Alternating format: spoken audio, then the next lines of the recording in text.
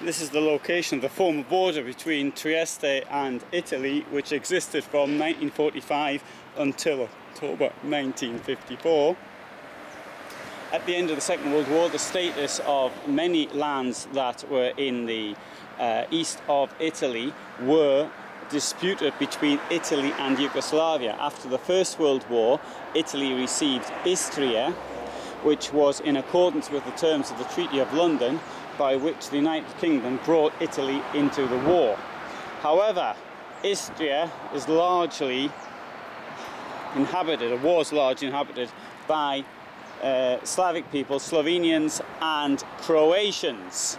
Now, certainly the coast of, uh, of Istria had an Italian majority. We can see that from the 1910 uh, census of Austria-Hungary.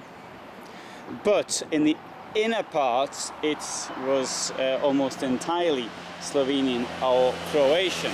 Now the situation there was exacerbated by a process called Italianization whereby uh, people were forced to use Italian. It was Italian was used in the courts and schools. Uh, by about 1927 there was no more uh, speaking other languages other than Italian schools was not permitted uh, which created all sorts of problems later with the German population in the Alto Adige.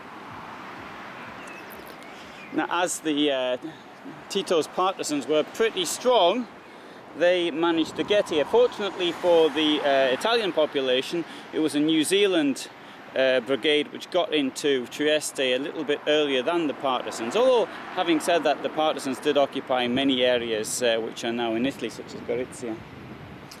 So, uh, it had to be decided what's going to happen with Trieste. It was Trieste A and Trieste B, one being the city, the other part being Istria. Well, Istria went to Yugoslavia and Trieste stayed in Italy. Now, the thing about Trieste is quite strange because it was the largest Slovenian speaking city before the First World War. More Slovenians in Trieste than in Ljubljana, for example.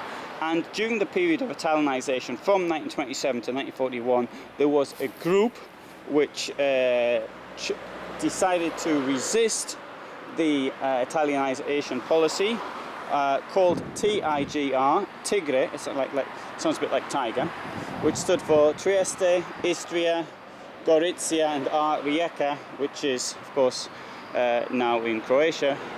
Uh, Rijeka being Fiume. And I would just say this, unfortunately the Italian participation in World War I was seen by many Italian nationalists as a bit of a failure because they didn't get what they expected after the Treaty of London. And it, Italy was one of the few countries in World War I which actually had some war aims because most countries didn't have any. That's my opinion, others may think differently. Um, and part of those war aims was the, the, making the territory bigger. Unfortunately, Italianization started even before Mussolini took, took over. And uh, people were even uh, threatened by these uh, thugs from the um, fascist party Squadristi. They could be beaten up if they spoke uh, Slav in public. And so that is clearly the reaction Um, the majority of Italian gains in World War One were lost in the Second World War, but this area here, from Trieste, Monfalcone, Monfalcone and um, uh, Gorizia, that stayed in Italy. But for the dreadful loss of life, it wasn't uh, particularly successful after the Second World War. There you have the date. This thing was put up, 26th of October 2004 and it says mm, uh, 26th of October 54 after years of painful waiting.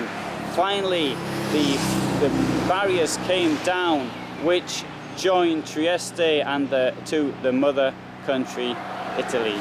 Remembering this 50 years later the National League of Trieste